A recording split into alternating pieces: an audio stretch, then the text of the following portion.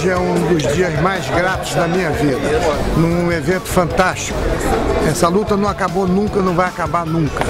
Nós do Jiu-Jitsu, das artes marciais, somos e seremos sempre solidários esta nação fantástica que é o Brasil.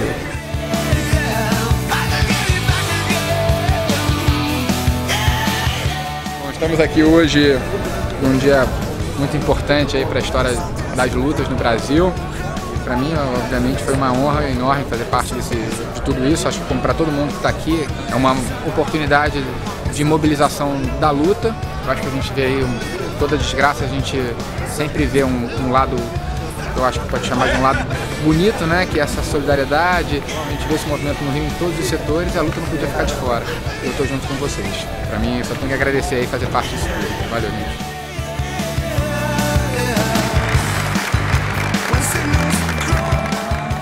Faz jiu-jitsu sabe que o jiu-jitsu é muito mais que um esporte, né? Praticamente uma religião.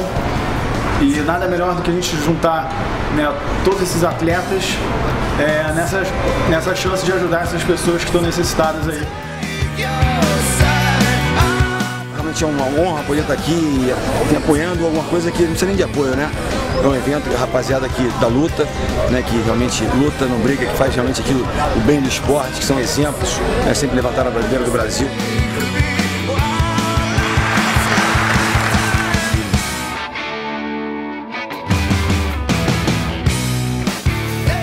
Eu realmente estou muito satisfeito com o resultado final dessa participação.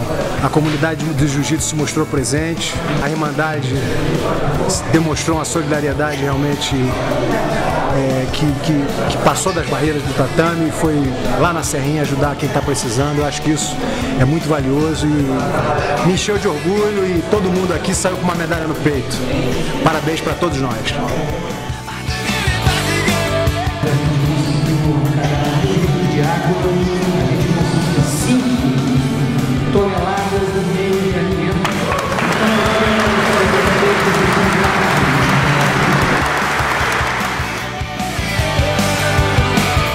De todos nós, gente, e a solidariedade é a coisa mais importante que existe.